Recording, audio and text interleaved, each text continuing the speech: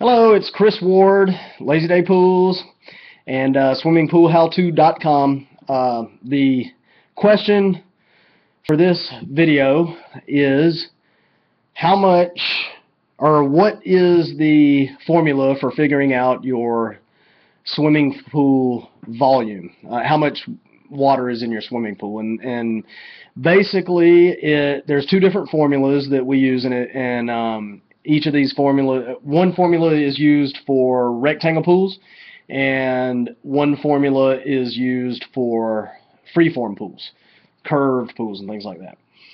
Um, so it's these formulas are used to estimate the volume and generally do a pretty good job of coming pretty close. So the formula for a rectangle pool or you know a um, full L or any other pool with straight line walls is length times width times average depth times 7.5.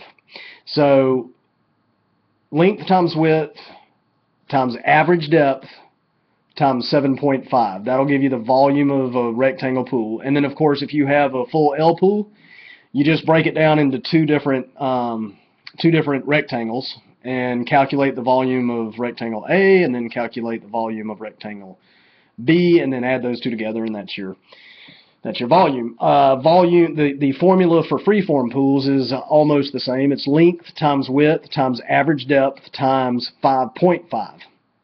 And that will give you a pretty good estimate of a freeform uh, swimming pool's volume. I hope this helped. Pretty simple video, straight and to the point, the kind that I like.